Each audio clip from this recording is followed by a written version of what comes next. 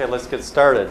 Um, today's lecture, I think, is going to be interesting, but a lot of it depends upon you people. So I've got a limited amount of materials prepared. Uh, I used some PowerPoint slides on Monday. Those slides are available on the website now. They're not on the CD-ROM. There's a lot of materials that just, um, as we go along, I'm going to be posting um, to the, the website. Okay, so the CD basically gives you the stuff as of the week before the course. But there'll be materials that I post, and um, those PowerPoint slides will be there. Uh, well, they are there, and also I've got some slides for today uh, that I also posted. Um, virtual students, um, it's uh, I emailed all of these PowerPoint slides to you. Um, and it's probably best that you um, print those out now um, because it's hard to see. I know some of you on, on the, um, the archive version that you've looked at, uh, sometimes the, uh, the uh, PowerPoint slides are really fuzzy. But uh, today actually should be a little clearer. Okay, do we have uh, any questions? You, you are getting my emails. I'm not using a bulletin board, I'm just using blanket email. Uh, some people have asked a question about some of the data files. Um, there's a bunch of short forms, um, and it's not clear what they actually mean. I will send an email out uh, either later today or, or tomorrow uh, with the definition of those codes. Most of them are, are straightforward, like um, TR is total return, PE, price to earnings. Um, but some of them are not as clear. So I'll put the full list in. But those, most of you should probably be using the MSCI file that I recommended to get uh, going on assignment number two. And that's pretty complete and it's very uh, intuitive what the, what the um, data series actually are. Okay? Um, a number of uh, virtual students have uh, joined the, the webcast. Um, they can actually join at any time. Uh, they don't need to watch it live, but we have new students today from uh, Fidelity, uh, Mellon Capital, uh, Barings Asset Management, uh, uh, First Union, Arrowstreet, um, and the list basically continues to grow. So that's kind of exciting. And hopefully we'll have you know, some sort of interaction with these students. Okay, well what I want to do today is to talk about and actually, the description of, of today's lecture is brainstorm. You know, what the future is actually going to look like. And um, actually, before I, I, I do that, um, we do have um, extra CD-ROMs. If you haven't got a CD-ROM, um, you can see Carol. Um, or if you haven't paid for the CD-ROM, see Carol. And she's uh, located, she's right, right there, uh, but she's just outside my office in the fourth floor west. Okay. Um, it, it's an incredibly difficult problem to kind of figure out what the future landscape of asset management is going to look like. And what I'm going to do today is I'm going to give um, some PowerPoint slides. It's a very general presentation about technology and finance in the future. And then what I hope to do is to have a discussion with you to get your ideas of what might happen. And then after the break, um, we can continue that, and I'll have a, a specific um, presentation of an idea um, that isn't operational yet, but an idea that I think is very exciting um, that has to do with the trading um, over the counter and how the internet might affect that. And indeed, I sent an email to people that uh, who have uh, FX trading uh, experience. And maybe at the break, if you could come down and we could talk a little bit so I could brief you as to some of the things I'll, I'll say after the break. Okay, so let me, let me start by um, talking about technology in general. I guess I'm uh, interested in this.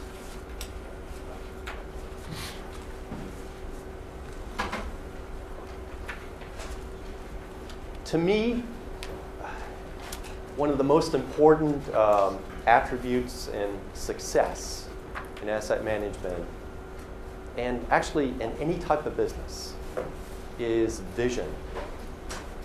And this is something that you really, uh, it's difficult to teach.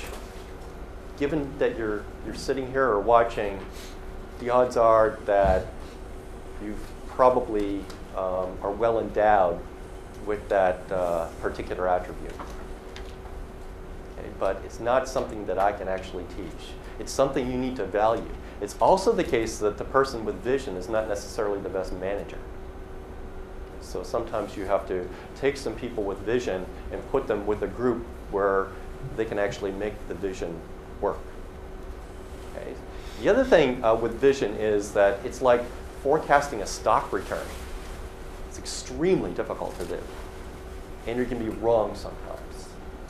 But one thing that I think I've learned, um, and many businesses have learned, that if you're really going to win, you have to start taking some risks.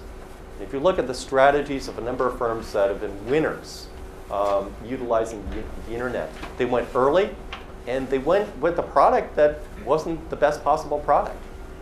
Like you could always listen to your, um, your infrastructure and coding people saying, well, we need you know, another six months to, to repolish this product. What you have to do is just go for it and change it on the fly. And you have to have good diagnostics so you can actually tell um, what the strengths are and the weaknesses on the fly. And you have to have speed. Speed is, is very important also, to be able to change quickly with minimum uh, bureaucratic uh, pressures.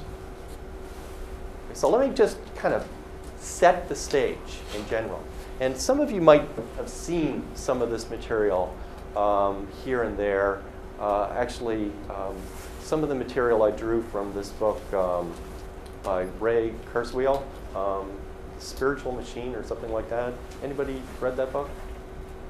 Yeah, he's a very interesting guy um, and uh, what I consider a, visionary. And the other thing that's kind of important is, uh, is a sense of history. Because we're talking about um, forecasting, it's always useful to look at the past to see what we've actually um, learned and try to apply that to the future. So you're going to see elements of this uh, in this uh, presentation. So um, going to um, basically evaluate technological change. That happens all the time, but um, what does it actually mean? And what we're going to do is forecast. There's one thing to say, oh, well, you know, the internet uh, has caused a lot of structural uh, change in the economy. Uh, everybody's got a, a, a, PC now, but you know, what does that mean, and can we forecast with any accuracy uh, into the future? This is the course that is really a forecasting course. Indeed, um, one of the, the main differences between finance and accounting um, is this forecasting ability, where much of accounting, not all of accounting, but much of accounting is to really figure out and understand where the firm stands now. And use all sorts of fundamental information to actually do that. And a lot of finance, what it deals with is the future. So the value of the stock is the discounted cash flows that are expected in the market. So it is very forward looking. Okay? And we're going to try to forecast um, in terms of uh, technological change. What does it mean for the corporation in general? And I'll talk a little bit about um, sort of uh, this focus on uh, micros microscopic markets and how it's feasible now. And uh, one thing that's, uh, that's very um, interesting to me uh, is kind of the growth of, of barter in our economy. So that's kind of the plan. Um, you've seen these quotations before. Um, I'm gonna, I'm gonna let me just like read them and then uh, make a comment on all of them. Um, so Jack Welch um, asked about e-business, and he thinks we're in the first inning. Okay. Um, uh, Scott McNealy, we are 0.5% into e-commerce revolution. This has just started. Okay. Um, it will have implications for the nation state, for the ways we organize around the world. Okay? And finally, distance has been eliminated there is only one economy and one market. Now, these are very distinguished people making these quotations, but if you really think about it, um, it seems kind of obvious. You know, we're in the first inning. That kind of implies there's nine innings, and I'm not sure. Things don't end, right? We're at the beginning of, of something that's true, but this really just happens all the time. And what's important for us is to be able to forecast ahead. And often with visionary, um, we need to forecast ahead in the longer term. So in finance, a lot of the longer term is like three to five years. Right? I'm pushing you to 10 years in assignment number two. And that's long term. But I'm going to try to think out 20 years. So hopefully by 20 years, you'll be able to retire. Okay, that's the goal, maybe. Uh, have enough. Um, so let's, uh, the implications here. Um, one of the things I want to talk about is uh, the implications of just pure computer speed.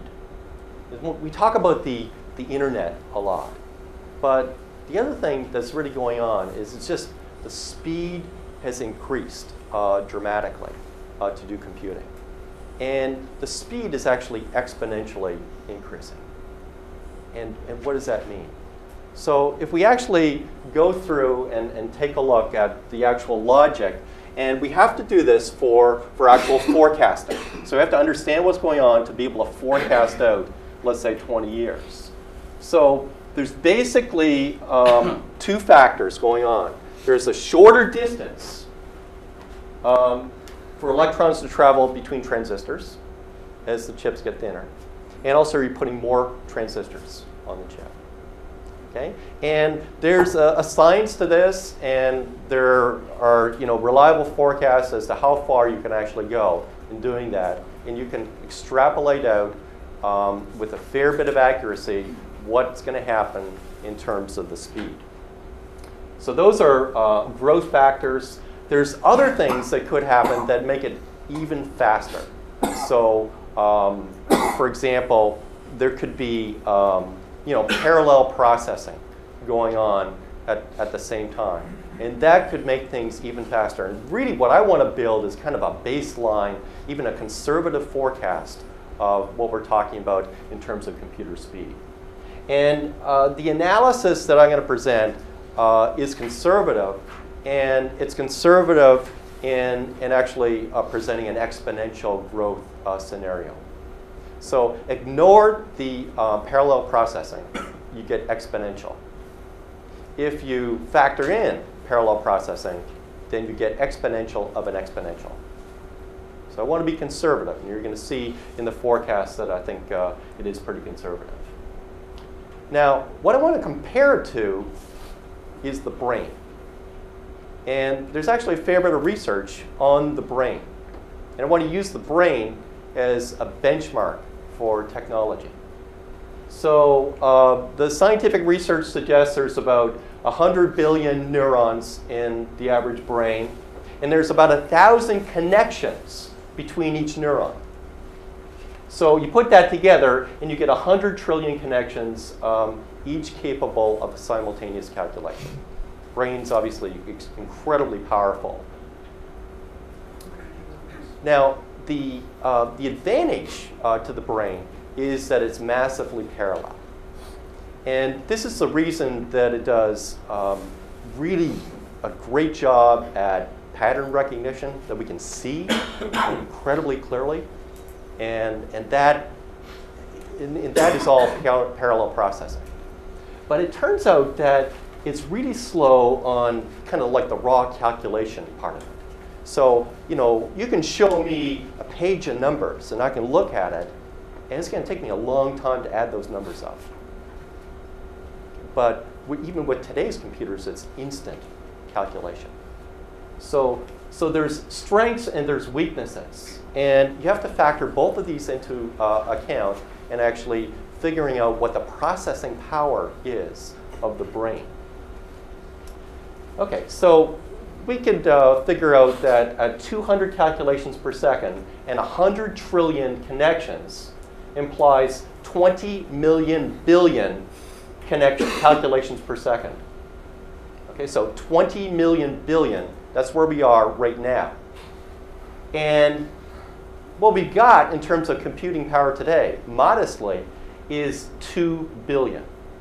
Okay, so it's the difference we're talking about between 2 billion and 20 million billion. Okay, so, so right now computers are really not that powerful compared to our brain. Brain's really got. So let's do this exercise in forecasting. Yeah, virtual students, this is an asset management course. Don't, don't tune out. Uh, So this guy, uh, Ray Kurzweil, actually did a lot of work in looking historically at uh, the history of computers and actually figured out um, the calculations per second per $1,000 through history.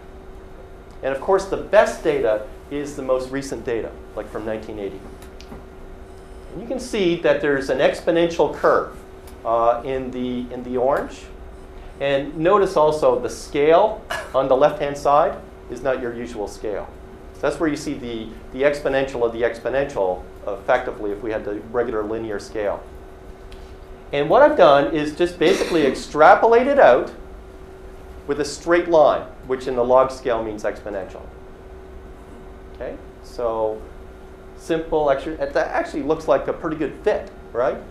We had data like this, we'd be reasonably confident. Um, and, and indeed, even though there are no circles um, by the, uh, the blue line, we kind of know the stuff that Intel has announced already.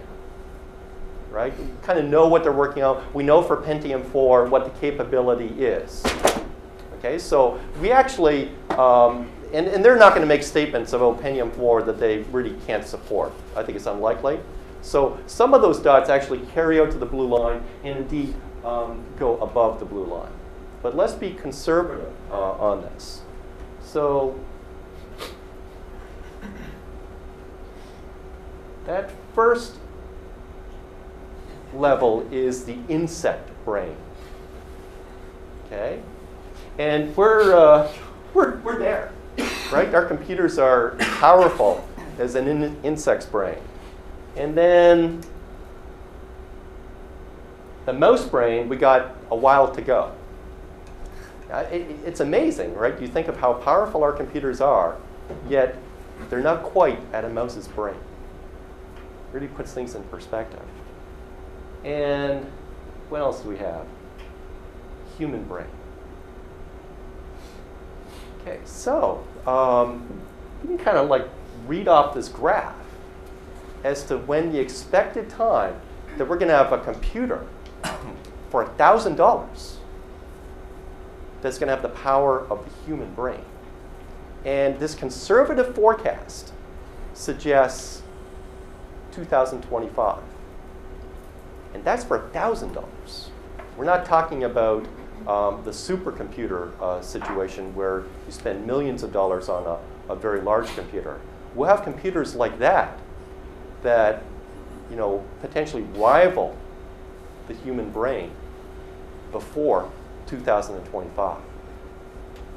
This, you know, is not that far away. Like I know it seems like a long way, but it's not that far away. And uh, do I have another one here? Oh, yes. Anybody guess what this is going to be?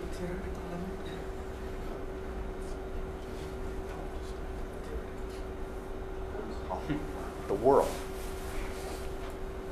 All the brains together, if you put them together, for $1,000. So, so this to me really kind of, that's the setting for me. That um, what we're faced with is in not that long of a term, you know, for $1,000 in 2025, we get something as powerful as our brain. Uh, and before that, we're going to have companies that have computers that are as powerful or more powerful than the brain. Okay. Now, um, I also go on in, um, well, actually, Kurzweil uh, takes it out to 2060, where you've got 1 trillion human uh, brains uh, for $1,000. Okay, so um, we go through the same exercise with memory. And I'm not going to go through all the details, but you can do the same thing with memory. So how long will it take, given the current technology, some extrapolation, to get the memory of the human brain for $1,000? And it turns out that um, about 2020. And again, there's a lot of scientific evidence that uh, would support the analysis of how much memory we've got right now and, um, and then the forecast going forward. So it's not just raw computing power, it's also memory. And actually, I was quite surprised at how much memory uh, the brain uh, actually uh, contains. So, so what does this mean? Like in, in a way, it's, uh, it's kind of like awesome. Uh, I don't want to call it a fact. I almost did. It's a forecast. Forecast can be wrong, but you know, given what we know, it seems that that's a reasonable forecast. The Kurzweil book is interesting because he actually takes it a step further. Because he argues that if we've got a computer with all the capabilities of a human brain, he actually you know, wonders at least whether it's possible for a computer to have spirituality. You have to read the book to, to appreciate the argument. It's a scientific argument. Um, but it really, you know, forces you to think what is going on here. Where I've got in my kitchen something that is more powerful than, than my brain in all aspects. It's not a matter of just doing some calculations. So um, so what does this mean like for the corporation? And again, we have to look at uh, history um, for this uh, to make uh, sense. Um, and uh, there's some really interesting um, kind of historical research on the evolution of corporations. Indeed, some of this might be taught here. I'm not sure. I should talk to my fellow faculty members. Um, uh, I, I, just got a very interesting book on like the history of the corporation from Greek times to, to modern times. And it's, it's a very interesting science um, to actually study this. And, and, and, as, and it might seem odd that you're studying the history of the corporation. Like, who really cares about what was happening in the Middle Ages with the corporation? And the whole thing is that you need to understand the forces that caused the corporation to come together. And then you can actually look at the environment today and figure out where it's going to go. So, like, vision is not just the ability to imagine or guess. I think good vision is based in solid analysis. So you take a look at what's happened and the forces that affect corporations, and then you make an extrapolation, and let's call that vision. So it turns out that um, in the 19th century, um, the main reason that corporations came together was to, um, to minimize transactions costs. There was really transaction cost driven. and this is a theory of the corporation by, um, uh, by Coase, a famous economist at Chicago.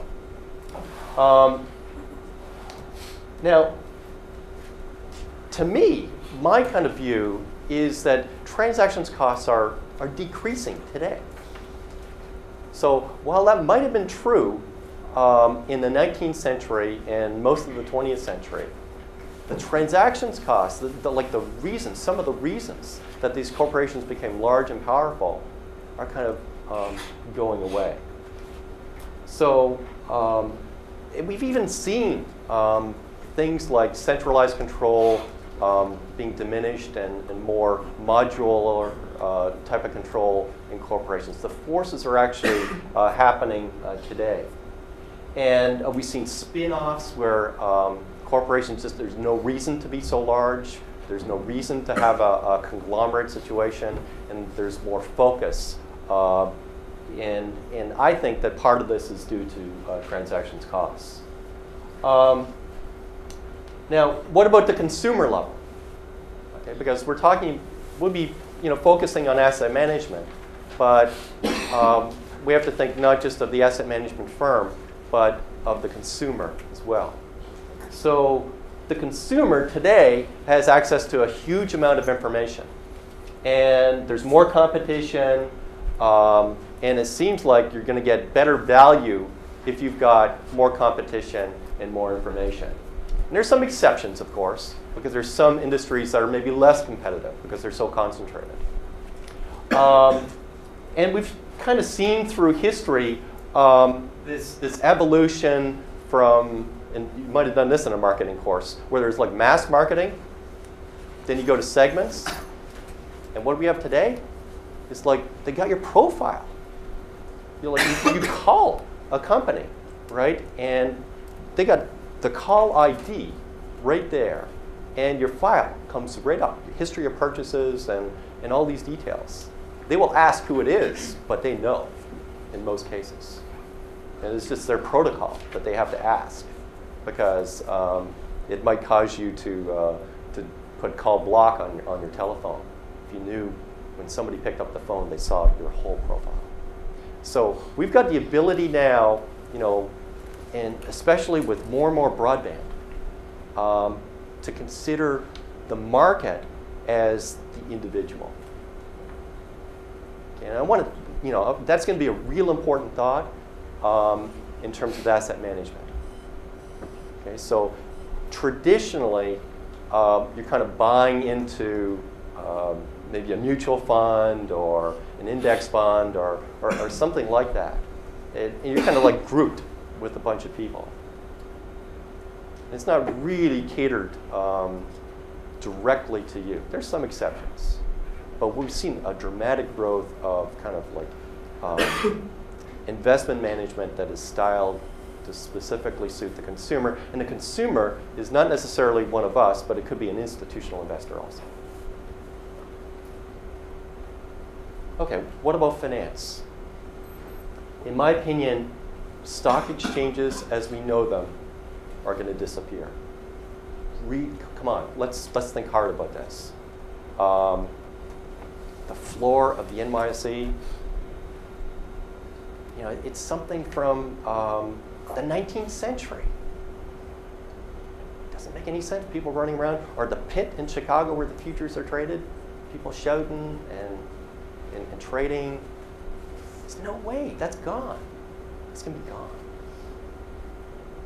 I wouldn't recommend a floor trader as a, as a career path right now.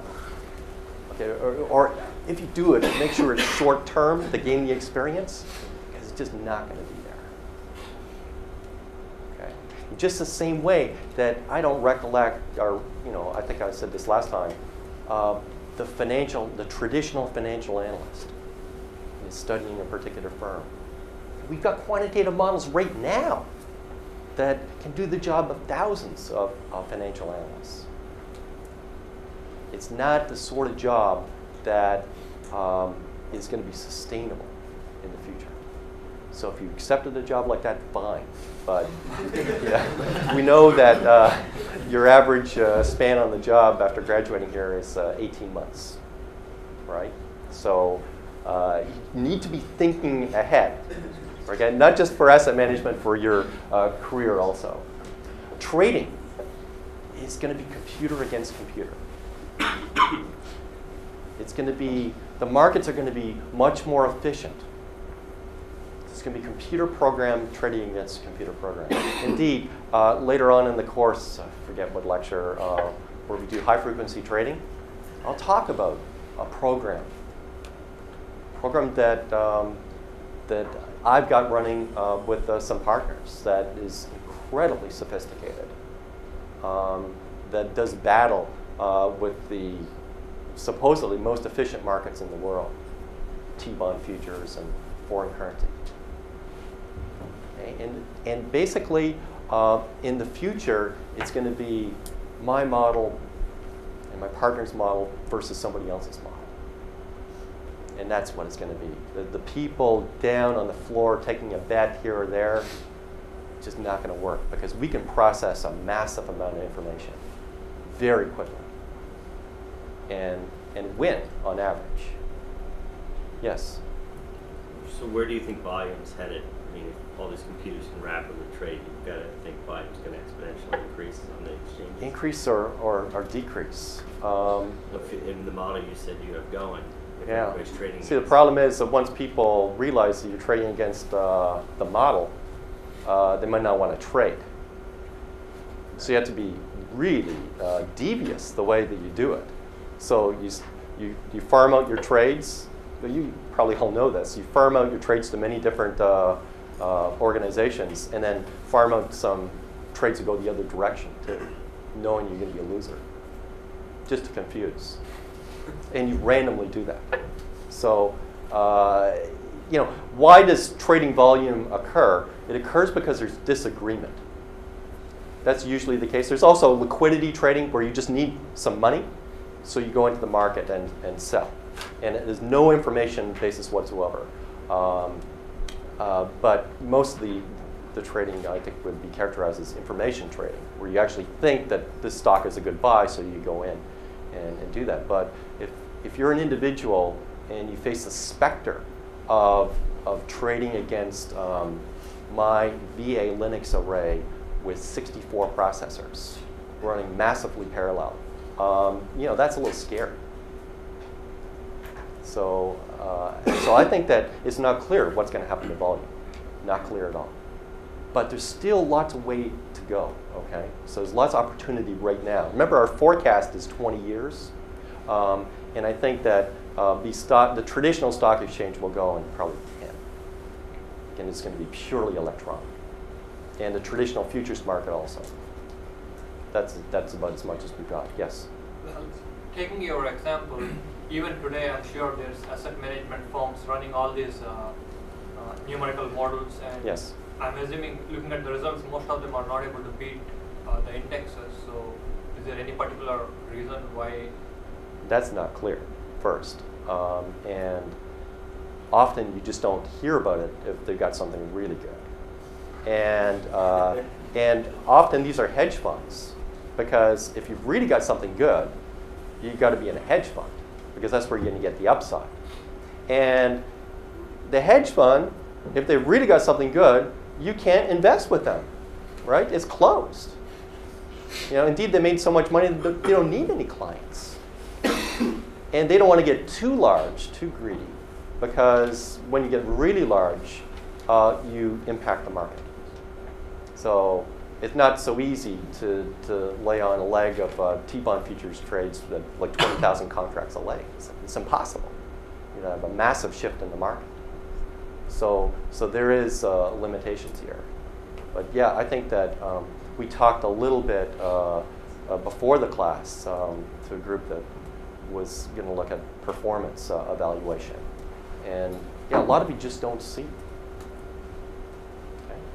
Um, yeah, so computer against computer, and the role for humans uh, is, uh, I guess, in designing the code. But um, you know, a lot of this is, you know, standard material. Um, and you've all probably heard of like neural networks and, and things like that. And often they don't work.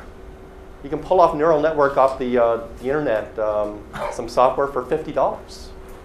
Actually had uh, a, a project one year for assignment number one where they ran a simple uh, neural net. For $50, you get about 50 bucks of value right? It's incredibly simplistic representation. It's running on some PC. It, it's not going to work. You don't have a chance. But as you get more layers, uh, more complexity, these methodologies have some chance of winning. I wouldn't necessarily put my money on the neural net kind of technology in general, um, but uh, because it's a little too restrictive. But we'll talk more about that when we talk about high frequency uh, trading. Okay. Um, currency. We're going to talk about currency in the second half uh, in, in some detail. But um, seems to me that there's going to be more and more barter where companies are going to be doing a, a lot more B2B and they're going to directly barter the goods rather than having money as the, uh, as the basis of the transaction. There's always going to be some sort of unit of, of account, but it doesn't have to be a dollar. It could be anything. Doesn't really matter. It could be zinc. But if you think about this as, um, you know, money was there because one of the reasons that currency actually evolved was that it was extremely difficult to operate in a barter economy. You go to the market, you got to carry all the things you're going to trade for some other stuff. I said, well, forget that. Let's have some sort of currency, and that's going to be a lot easier to deal. But now, with these B2B uh, capabilities, that you could be trading your goods directly. There's no cash flow necessary. So, um, so we'll have a, a, unit of account, but the actual, um, the actual currency is, is in question. And this is, again, you know, like we're talking uh, I believe, like 10 years uh, for this one. We've seen some of this today. We're going to see a bit of growth in barter, and uh, it's actually going to be pretty rapid growth. But for this to actually take a big bite out of currency is going to take a while. Um, and uh, I, in the second bullet point, I, I say um, a lot of what people in finance do um, is working capital management. Indeed, uh, before I joined this school, uh, Fuqua was really well known for its finance program. And the finance program was focused on basically working capital management, cash management. And shortly after I joined, kind of like had a turnover in the department. And all of a sudden it was completely different. But it used to be this is the place to go for you know, lockbox theory and, and stuff like that linear programming and cash management, working capital management. Well, if you really think about this barter thing, um, it could eliminate the needs um, or the acute needs for some corporations in terms of uh, working capital. Indeed, there could be forward barter transactions, B2B. And I think we're going to see a lot of that. Um, also, debt. The debt doesn't have to be in dollars or whatever currency. We've seen some of that today where some, um, some countries especially have put their debt uh, in, oil or some other unit. But there's no reason that we can't have debt in, in some other unit of account. And this is going to be something I, I think that uh, there's lots of possibilities here. So you bypass the traditional, um, the traditional uh, debt markets. Um, global finance, I, I really think that uh, currency uh, is going to become less important over the longer term. Uh, basically, uh, we're going to see three currency zones if we already don't see it right now. Um, and that will probably evolve to one currency. You know, I, I really think that, that that's the direction that we're heading. So more people will join the Eurozone. There'll be yen zone, uh, dollar, and then eventually there'll be something to put everything together.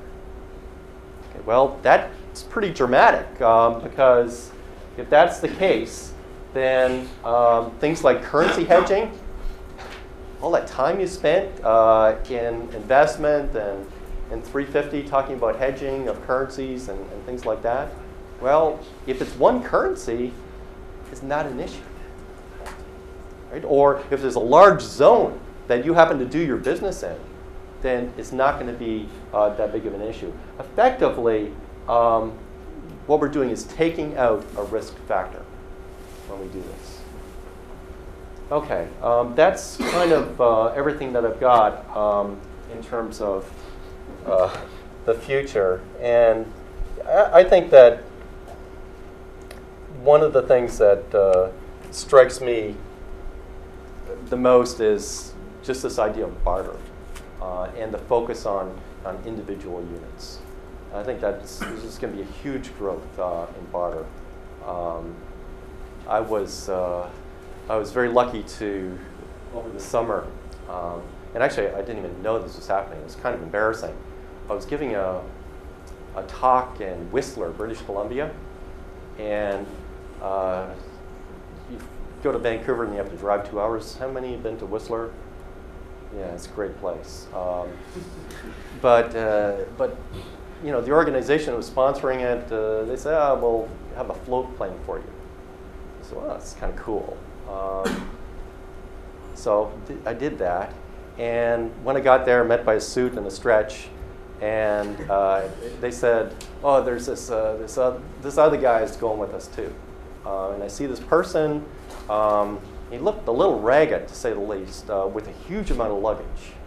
Um, and uh, so I said, okay. So we kind of limoed over to the, uh, the float plane terminal, and the float plane wasn't there yet. So this person says, "Uh, let's go have a beer. And I said, okay. Um, and then he explained that he just got off multiple flights from Italy, um, but he, he actually was based in the US. Okay, I didn't know he was connected to this conference I was going to. No idea whatsoever. Uh, and we started talking, and uh, then I kind of figured out that he was an economist, you know, and there's lots of economists. And uh, maybe, maybe even a retired economist because he's in Italy half the year. And we started talking and talking. We started, he was asking me a lot of questions, and I was getting a little bit suspicious. And then we're kind of going through all my travels, and I said I'd spend a lot of time in, um, in Sweden and Finland uh, teaching and stuff like that. And then he said, Yeah, I was recently um, in Sweden. Then my heart starts going. Um, and then I start thinking, Sweden economist, uh, Nobel Prize. And it was Bob Mundell, the 1999 Nobel laureate. I'm sitting there, I almost spit my beer out. Uh, and uh, and uh, you know, he won the prize. Uh, well, one of the reasons was that he is the research force behind the idea of uh, currency union in Europe. And we had just an incredibly interesting conversation, especially after his first beer. Um, and, and, and I started asking him, you know, what about this barter? Because this is a guy that's a visionary. He's not just a great economist, but he's a visionary. Uh, what about barter? You know, because it, you know, I was very interested in that. Um, and he got talking, and he said that he thought it was just incredibly hot. Uh, and then he said, indeed, um, part of the reason I'm coming out here is not just to be the keynote speaker at your conference, but uh, I've got a board of directors meeting for barter.com. So he's really into this uh, big time. So I think that this is going to be like a real uh, growth area, B2B um, sort of um, barter stuff. So, um, okay, so let's let's talk uh, a little bit um, about uh, about kind of the asset management uh, landscape and, and talk a little bit about kind of the short-term changes and the longer-term changes. Question? I just wonder what are the major uh, economic or uh, financial advantages of barter transaction over the currency settlement? Um, well, you know, I, I, I think that a, a lot of the time you actually need to finance your transactions, right? And you could have a B2B type of market where you kind of put the buyer and seller together of the actual goods and you reduce the transactions costs as a result of that. So you, you completely cut out the middle people, you completely cut out the need for financing, and you put the, the basic, uh, the person that wants the input and the person that sells the input directly together. Yeah, that, that is incredibly powerful. And you say, well, what about shipping costs? Well, you have to ship anyways. So there's always costs like that. And there's always uh, kind of a settlement uh, costs. There's always there. Well, you're basically removing the spread by putting people directly together. That is the power of B2B. Indeed, in the second half, I'm going to talk about a B2B application, and, and that is basically its genesis. That you rip the spread away and you make the market way more efficient. So it is, you know, I think uh, a reasonable idea. Uh, you don't need to do um, barter for B2B. You know what I mean? You, you could be settling in dollars. That, that's fine. But there could be a situation where you completely avoid that and just trade the goods. And that's it. Yes? was curious about something you said. You mentioned before that uh, the incentive for transaction is really discrepancy in information. How It's part of the incentive. There's two reasons, as I said, to trade. Right. One reason is liquidity, the other reason is information. Liquidity aside, if you just focus on the difference in information, I'm not, I'm not really sure how to think this through, but assuming 10 years down the line, 20 years down the line, where computers are infinitely smarter, infinitely more capable than we are, and they're all making the transaction, ultimately, if they really are smart, smart the, uh, the difference in, in interpretation information is going to be eliminated. So what happens to trading? Well, think about it. Um, if we, com- we we've got uh, a security, okay, IBM, and we completely agree um, about the distribution of possible payoffs in the future. Complete agreement. There's, we're not going to trade because if both of us are holding it, we're holding it for a reason. One's not going to be buying, and the other's selling. So as the as the information uh, asymmetry shrinks, then in terms of the information motivation for trading, it, it decreases. Now, the other thing that we need to be careful of here is that um, it's going to be a while before there's complete agreement, right? And there could be a small amount of disagreement and, um, and no trading because the transactions costs are too high, right? So I think IBM's worth, um, what is the current price of IBM? Nobody knows. $100? 109. Okay. So I think it's worth uh, 109 and 25 cents, and you think it's worth 109 and 20 cents. So we're real close. Okay. And that five cents is not going to be enough uh, for us to kind of trade because the transactions costs are so high. But as the, the information you know, is becoming more and more common, there's other forces out there. So the transactions costs are also decreasing. So I think it's going to be a while before we see the actual, you know, really serious, um, you know, limiting of the actual uh, trading activity. But hypothetically, if you reach, if you reach a point where you and I Yes. completely disagree on information, Right. trading will only take place For liquidity. That's exactly right. That's what the theory suggests. And the theory makes sense.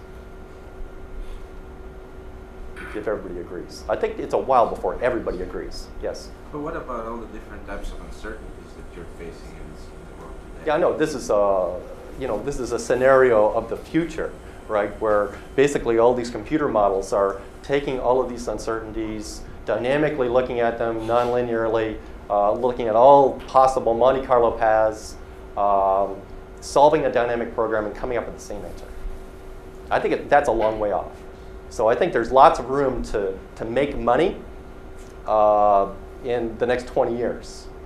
Because transactions costs will decrease and it's going to be even though we've got these you know brain like computers we all know that our brains you know we disagree ourselves right? So depending upon the program inputs um, there could be some, some differences. Yes? To, to uh, do any kind of trading just because you need a good service. Because we could agree on the price of a house, and you could be asking me more than I think it's worth, but I still would want to buy the same house. That's true. Um, and, th- and, and that, like in a way, is a market imperfection um, because there's no alternative, right? There, there's not real competition there for that particular type of house. So I can't go to somebody else.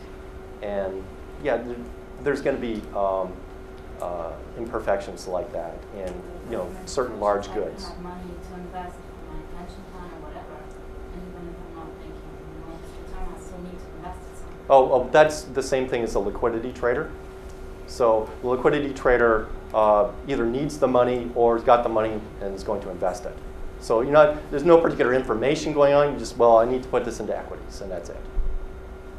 Okay. But you know, what, think about the equities themselves. You know, like why is it that the company is issuing stock to the market? Like, does that make sense in the future? Like, do we have to issue the stock to the market as a whole? Like, this one thing is traded on the exchange? You know, or, or can we identify particular consumers and, um, and target them with some other product? It might not even look like equity. It might look like um, you give us some capital, which we need to build a new plant, um, and we'll pay you off in, in goods. And you can transact uh, using some sort of um, some sort of uh, reverse auction like system. That there's other people like you that could be uh, wanting to get rid of that particular asset, um, and we'll put them together with some sort of internet framework. So, you know, um, you look at these markets. The IPO market, I think, is a classic. You know, the, the investment banks take the seven percent spread, a huge spread, and everybody does it. And somebody's going to come in, somebody already has come in, and said, well, this doesn't make any sense. We can go and undercut this substantially, have something that's internet based. Okay? Yes? Well, but then you're, you're, you're discounting the widespread factor of human greed, saying that people will forsake maybe more, more selfish needs of accumulating more and more to come out in a more equilibrium. No, that's not what I'm saying. Um, what I'm saying is that somebody, you know, let's say there's, uh, you know, five main firms that are doing all the IPOs, right? They're making a lot of dough. It's clear. It's a good, uh, it's a good business. And everybody's charging the same spread, which is remarkable. 6.9, 7, 7.1. Lots of research on this, okay? Uh, and somebody's going to come in and say, well, uh, I don't think this is sustainable. This is like a game theory problem. This is not sustainable. So I'm going to go challenge the model. Okay? And you know, maybe it's true that if I just go in and start charging seven, uh, I'm going to make some money in the short term, and that's going to be good for me. But that's not sustainable in the long term. So I'm going to, I'm going to be the challenger. And I'm going to go in and actually do this. There's some examples that are, are different, where, you know, a great example is um, kind of the, uh, the recording industry, where no particular unit was willing to actually go in and do what Napster did. Okay? And I think that that's very short sighted on their part. Because now there's a challenger. Now, who knows what's going to happen legally? But it's the idea that somebody small, a startup, basically, could come in and basically uh, upend that entire industry. And those people are scared. So I believe that it's better to actually make the move first. That's better for um, long-term shareholder value. It not, might not be great for the short term because you'd be taking a loss initially and people would be very upset with you and try to fight you like crazy. That make sense? But what about um, the question, Yeah, Jim? I was going to ask a question about the, the barter scenario. Um, it, would that, if we move to uh, fully barter without the need for currencies and so forth, and really you don't need central banks anymore, what is that? What is the implication of that for inflation? Do you, does that mean that inflation will be minimized, or possibly we not we might not have inflation anymore, and hyperinflation would, would definitely not be in the game, right? Well, uh, actually, it might not be in the game before the barter system.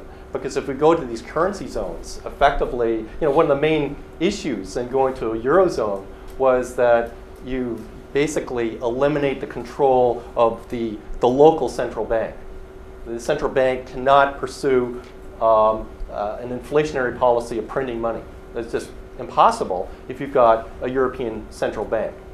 You know, they could do that, but the countries lose control of their monetary policy, and that's the big cost of a union, where you give up some, some degree of your sovereignty.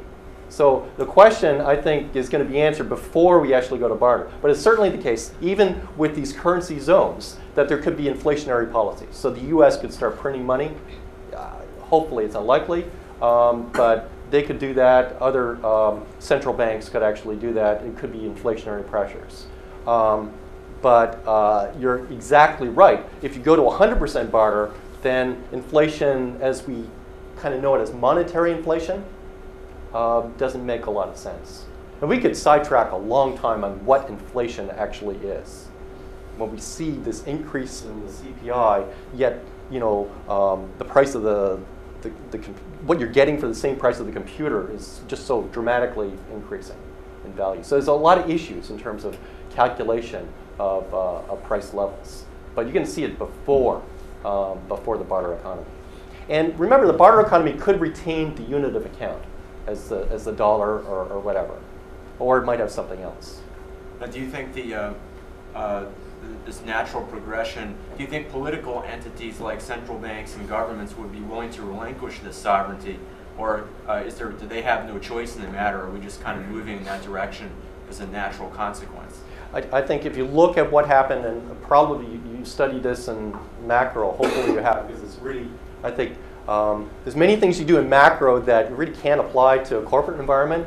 But what happened with uh, the Eurozone, I think, is, is, is really a purely competitive thing, where they realize that, you know, if you don't, if I don't join, then it, it's going to really take a, a hit on my country's ability to compete in the future. Because within that zone, we have reduced a lot of transactions costs.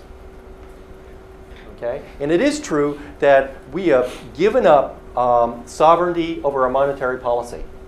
But in a number of countries, that's a good move. And corporations especially appreciate that. Corporations don't like inflation, right?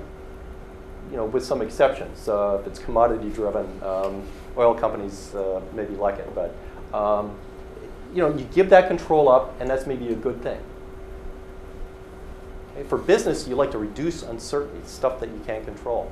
So you have to do all this hedging stuff. It's very hard sometimes to hedge inflation.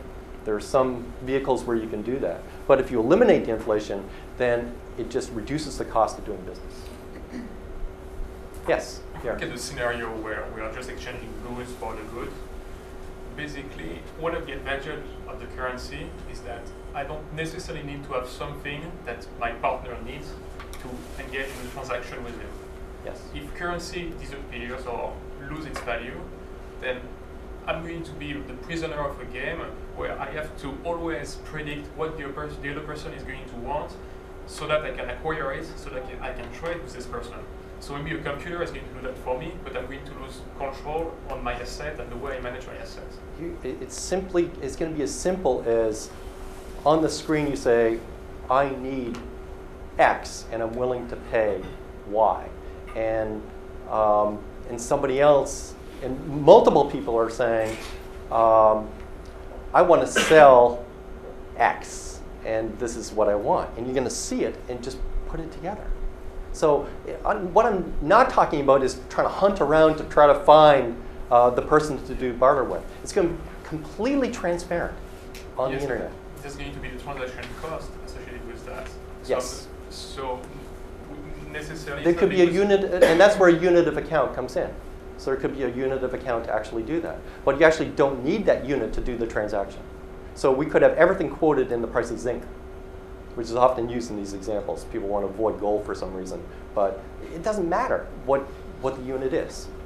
So yeah, so that would facilitate the actual trading to see that unit. And then these things are just exchanged. And that's it. It's done. That's exactly what you want. You want to deal with the original person. So you replace the currency by a unit that is. What it's, a, it's a unit. It might still exist, but it's just a unit of account. Remember, currency's got a number of different um, values, right? Yes.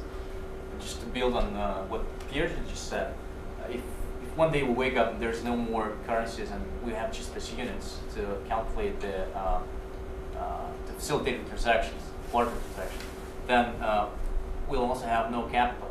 Then uh, people's wealth will be measured not not with the uh, numbers of, on their accounts, but in the form of I don't know maybe claims or some claims against the property or some rights or whatever.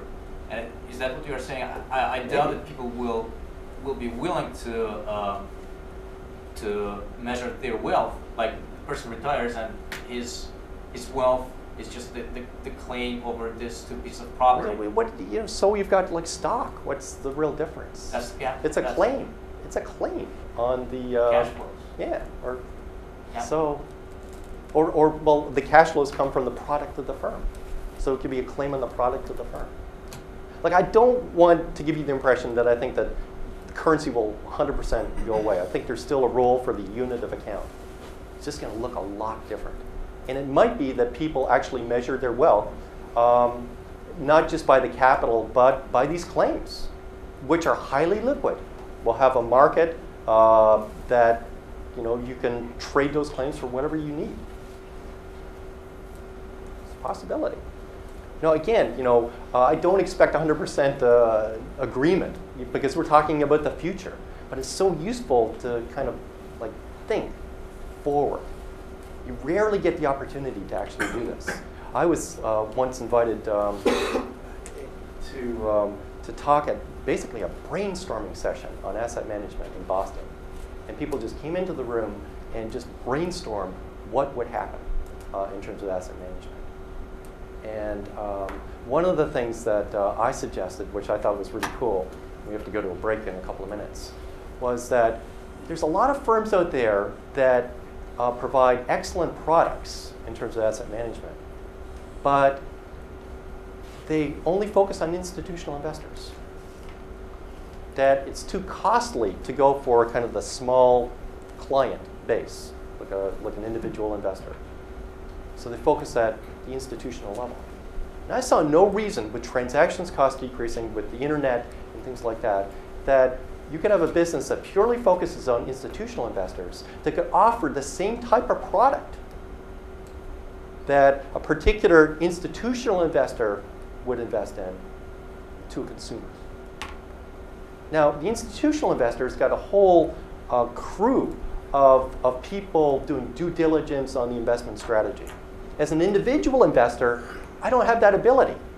I've got my job to do and whatever else, and I don't have the ability to spend a lot of time on due diligence of a particular investment strategy. So why can't I simply say, I want to pursue the global investment strategy at CalPERS, and that's it. And then I'm actually placed within the same pool. The same sort of trading rules are used for my account. So this firm that catered to institutional investors could massively expand um, its investor base with um, actually low transactions costs. So the reason that they weren't doing directly to individual investors was the cost. They don't want to have to deal with the phone calls and the uh, client meeting and stuff like that. They focus on the larger firms. But now, and this is partly consistent with what I was saying about kind of the microscopic market, that you can focus on individuals very inexpensively. And we're going to see more and more of that. Okay, let's, um, let's take a break. And what I want to do after we come back from the break is to talk about, um, expand this a little more in terms of um, uh, this B2B idea. I'm going to show you a particular idea uh, in terms of FX trading, which in 20 years maybe is not uh, going to have much value, but we'll, we'll talk about that. And then we'll kind of continue after that our discussion of asset management and how to position uh, for the future.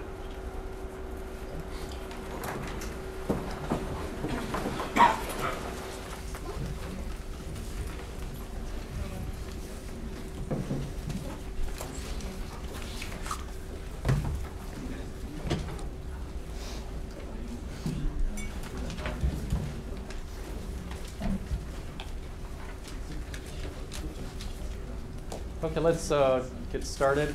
Um, we had a, a great discussion actually during the break. Actually, people didn't realize that everything is being broadcast. The audio was being broadcast, but it was, sorry, I forgot to tell you that. Uh,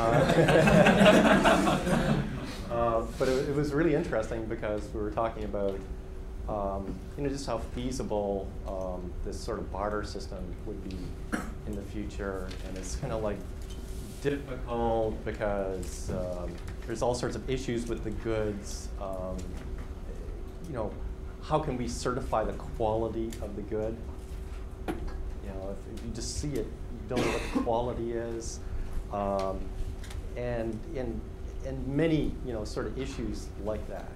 Uh, and what might happen as, as a result of that. I suggest that maybe there would be a separate business group that pops out just in terms of certification. And maybe you could think that consumers would want to pay a fee uh, to make sure that what they're buying is certified by this, this particular company. And then you could also think, well, maybe the consumers wouldn't pay the fee, that the firm would pay the fee because they want to be on the certified list.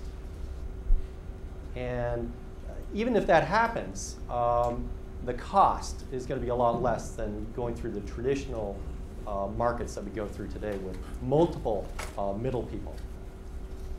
Okay? And a lot of infrastructure is probably not necessary. So there's lots of possibilities here. And as I said, I um, you know, I like brainstorming in the future, um, and it's, it's a path that, that you need to take. I think it's incredibly important. What we're going to start talking about uh, now is, is something that you actually don't need to certify. Um, and a sort of B2B idea that there's unquestionable quality of the actual underlying good, and that's like foreign currency. This is not like, uh, like grain that could be of multiple qualities, or even a manufactured good where you're not sure. We're talking about the actual currency that um, is traded widely in the market. Indeed, the largest markets in the world um, are currency markets right now, with an enormous amount of transaction volume uh, every day. So we're talking multiple times um, what happens in the equity markets. Trillions of dollars, um, if we want to translate into US dollars, are traded mainly um, through the interbank market. Now, how many, I sent this email around for people that had actually done foreign currency uh, trading on the interbank market. How many people um, have actually done that? Just not as many as I actually uh, anticipated. So um, what I want to do is to take you through just a, an idea.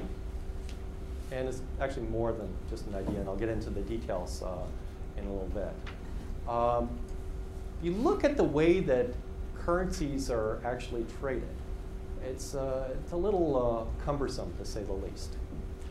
Where you're in need of, uh, of buying some euros, and you basically do a phone around.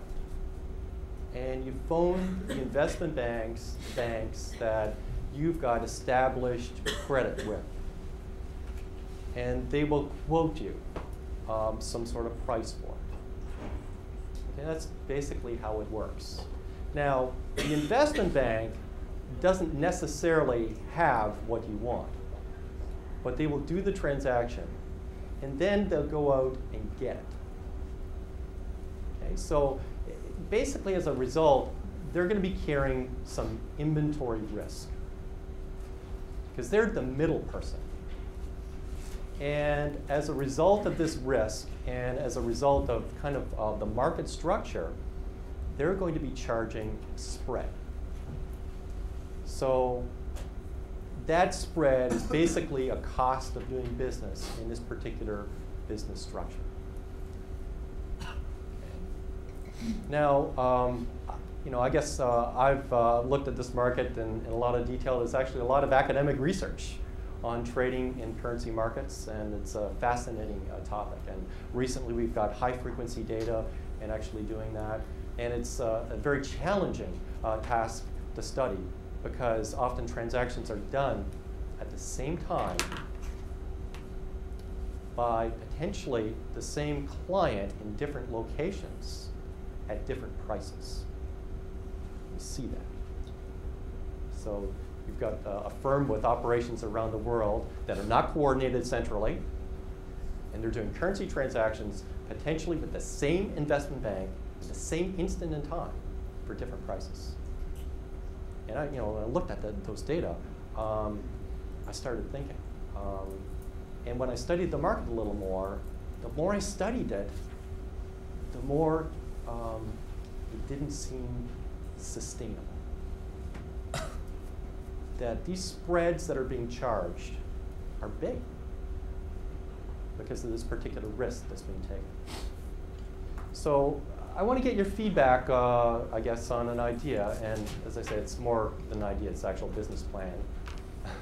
so it's kind of like the opposite, isn't it? Often the students are presenting the, uh, the, the, uh, the idea for um, assignment number one or, or whatever course you're taking here. Well, I'm going to do a pitch to you and see what you actually think about this. And I want you to think about this in the context of the discussion that we had earlier on about um, sort of B2B and whether it actually makes sense um, in terms of this particular market. So, so basically, the idea here is to go in and um, create a B2B structure in the spot FX market. And I'm going to use the example of FX because it's real simple to use and people are familiar with it. But it actually doesn't just have to be FX. It could be a variety of things in the cash market. So traditionally, as I said, you know, if you're interested in buying euros, you have to phone around to the banks that you have got established credit lines with. And that's basically um, how it starts. Well, um, there's another possibility, and I've got um, a graph up here of a trading mechanism, a B2B type of mechanism, and let's call it uh, forexter.com, which is actually a real .com that I'm a partner in with um, uh, a PhD student of mine, Arman Glodjo. Okay, so what we've got is a B2B method that relies upon the idea of a reverse auction.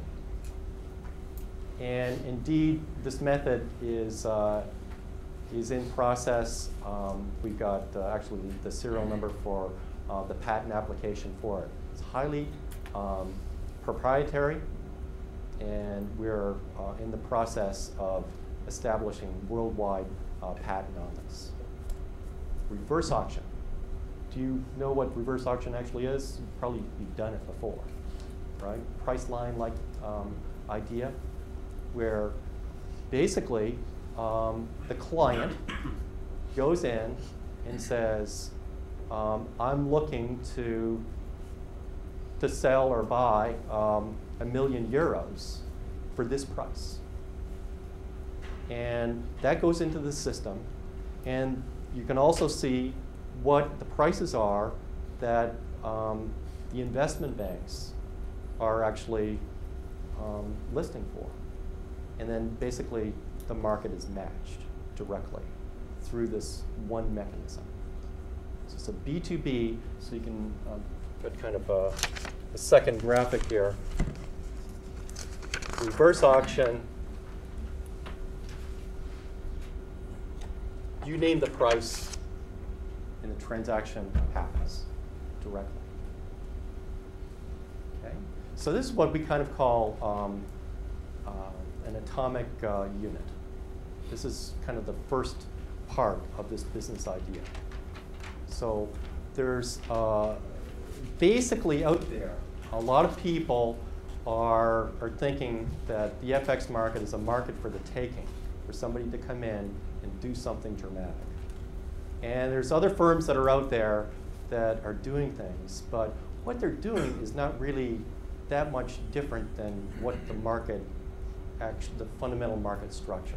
So you get firms like FXall that are out there, basically a consortium of investment banks that kind of pool together their quotes. It's going to be something way different. Indeed, um, we actually, uh, the name forexter.com is no uh, coincidence. Indeed, the way to think about this is the music industry. And um, when you see a firm like Amazon.com start to sell CDs, right? And it seems like that's a good idea in the short term. But it's basically the same fundamental business model, right? So instead of going to a physical store to buy the CD, you're buying the CD in a different mechanism, and it's being shipped to you. Whereas there's a firm that comes in, like Napster, and fundamentally shakes the structure of the market. What we're doing is coming in and shaking up the structure of the market with this idea the business method, as I said, is on the route to um, being patented. And indeed, we've got the best uh, law firm, we think, in the world um, that's, uh, that's uh, negotiating um, currently right now. Um, you can, of course, look at this uh, the other way,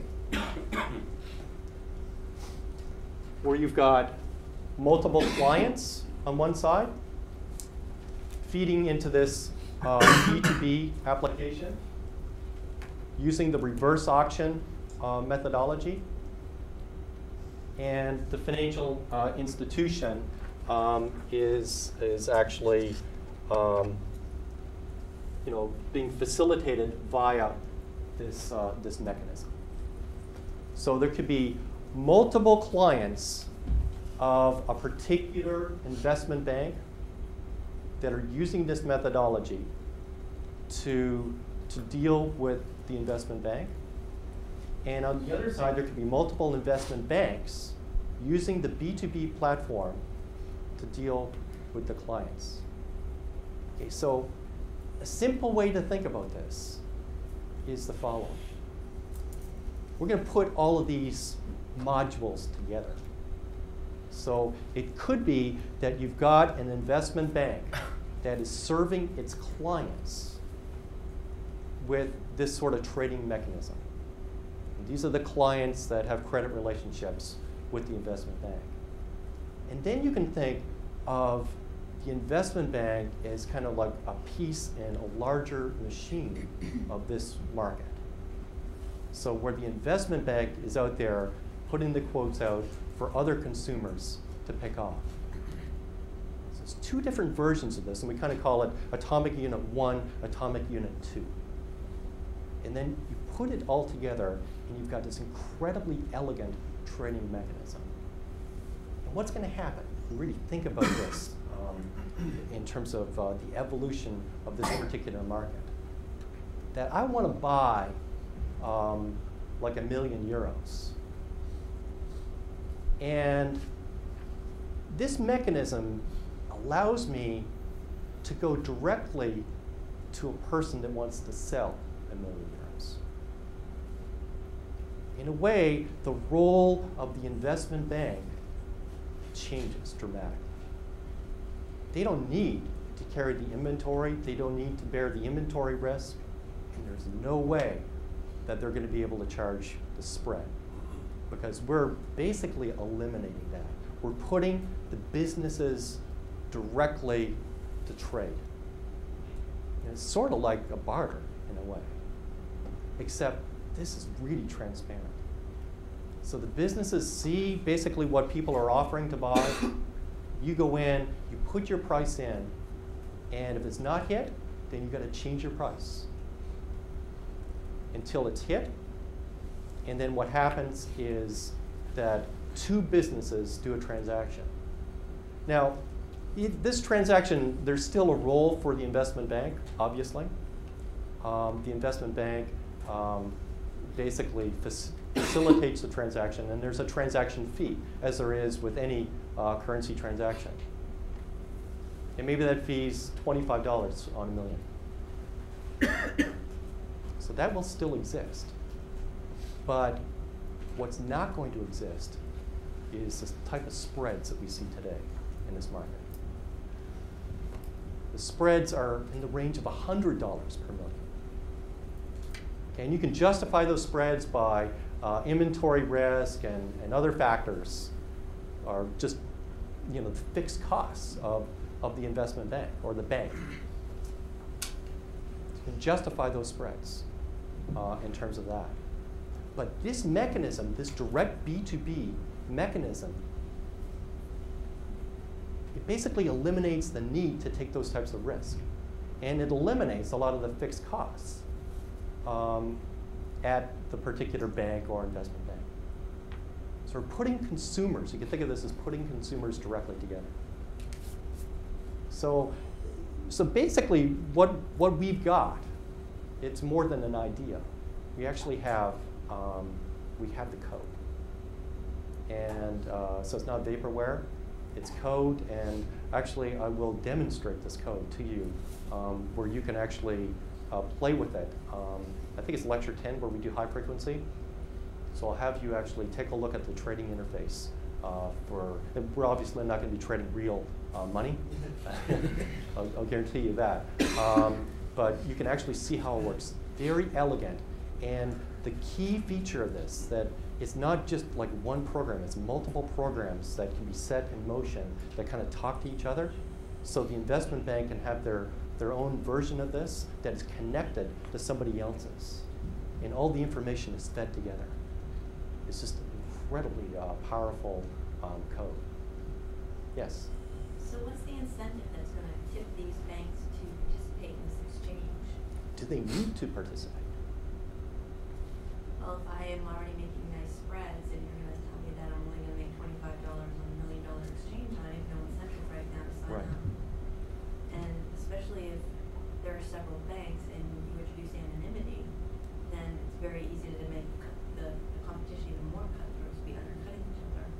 There's no, it's very transparent. You know who is uh, doing everything. The transparency is really key. So the question you're asking is very similar to the question uh, earlier in the lecture uh, about, you know, are you going to be the challenger or are you going to be the challenged? The, the recording industry basically has sat back and has basically tried to protect their turf, their spread, because we all know how much it costs to produce, um, you know, a CD-ROM. Well, you bought one for this course, right? Um, and it's a matter of either participate, get in early, be recognized as a leader, or suffer the consequences. Because if you really think about this, the people that are doing these transactions are mainly businesses, right? And what we're doing is putting those businesses together. Right, putting businesses together, but one, we compare, you know, trading foreign currency to Napster, the barriers to entry are much higher in this case. And second, um, But Actually, I would, uh, if I could interrupt, the barriers to entry are actually lower, and I'll go through the reason. Napster, it's got a huge barrier in that, you know, it's in court, right? It's a legal issue here, whereas we have no legal issues whatsoever. but it's easier to do, I mean. Well, okay, I would, uh, regardless Whether it's legal or not. Okay, actually, it's not clear that it's easier to do either because our, um, our code is running right now, and um, we've got um, three hedge funds operational that I'm partnered with that uh, will be using this code um, to trade with various investment banks that have signed up. And this, the one, you know, really important advantage um, in what we're proposing is that you don't need large scale to actually make this work. That you can actually start with a smaller scale. Indeed, the people that we thought would most uh, would be most interested initially were kind of like smaller hedge funds that um, just don't do the same amount of business with these banks and investment banks. And um, this is a way for them to get the best possible uh, prices. And um, it, it seems like that's a reasonable uh, thing to do. But I think that the, it's okay that uh, I see the, the look of disbelief here. Um, it is true that there's going to be a lot of investment banks out there that are going to see this as a massive threat to the way that we're talking about, you know, um, multiple billions of dollars of spreads being eliminated in the future. Okay, so this is a huge threat um, to the way that they actually do business. To put the, the people directly together um, that want to do the currency trade. And there might be significant resistance. It's actually interesting that when we actually go around, um, we thought that people would, um, at banks and investment banks, um, be just incredibly uh, resistant to this idea. And we're actually quite shocked that um, there's a number that are, are quite open to the idea because they see the writing on the wall. They know that this is not sustainable in the future. They got to do something. And there's still a way to make a lot of money in doing this. So, you know, I guess we're in discussion with, um, you know, strategic partners that recognize that this is the future, whether they like it or not. Either they're going to be on board or they're not on board. And the actual cost of doing this is, uh, is not that large, given that it's scalable. Is that close to? I, I don't mean to 100% convince you because you've just seen like two slides, but it, it's, uh, but it is kind of consistent with what we've been talking about. Yeah, I guess I just wonder compared to other exchanges that have tried to do the same thing with other commodities and have failed simply because they haven't been able to get people to sign up on board because they don't want to give away those marginal spreads. Yeah, but remember, the people that we want to sign up are often just like corporations that are, are doing business, that, that have to do the phone around to the seven investment banks, that know that they're being charged the spread, right? What we're offering is, well, you can still do that if you want, but also take a look at the, at the prices um, that are available on our system. And you don't like them, fine. But I think that there's a real possibility if you, if you eliminate that spread, which is the largest cost in actually doing the, the currency, other than the time to do the phone around. If you take that spread out, then um, it's going to significantly make that market more efficient. Yes. If I'm a bank, getting back to the incentive question, and I think that things are sort of gonna commoditize anyway, and I move first, essentially moving first, and my, my competitors are reaping the higher prices from the top, from that time until it completely commoditizes. So are you thinking of any exclusivity? I mean, are there only a certain number of people who can get on board or? No, actually, it's, uh, it's best the, you know, the, you know, there's, I guess, a number of different business models. There's like an equity partner at the beginning who, you know, if you, if you do the projections, not too hard to do, even if, there would be a fee that we would charge also, but it'd be trivial. Um, Three dollars, not a hundred. Um, but if you, if you do projections like that, then there could be an equity partner and it could be a, a number of uh, strategic uh, partners there. But I think maybe what you're getting at is the people that are actually using this system, right? And you want actually to have um, a range of, uh, of banks and investment banks and, um, and, and the actual businesses that, that are doing this. So it's a huge demand. We've chosen to focus initially on small hedge funds because we know that you know, they are the smaller clients and they can't get good prices and they can't afford the spread. They can't do the high frequency trading because of the transactions costs. And we can offer them something to reduce those costs. So yeah, it, it's kind of like um, if, if you think about it, there's a real strategy issue here. Um, do you go with a financial partner or a strategic partner? Uh, I think you were first, Sean. Um, a couple of uh, one point in the question. The question is who absorbs the credit risk in terms of the transaction between the two counterparties? And, Why? uh, Okay. Um, it, it's like um, it's like why is it different? Why would it be any different using this type of system than the going through the investment bank? The investment bank or the bank would still do the, the transaction cost, right? So So would you, both counterparties have to have an account with a particular Of investment course. bank to have a credit Sure, and that, and that's bank? exactly how it happens today. So we're not really changing that particular part of the model.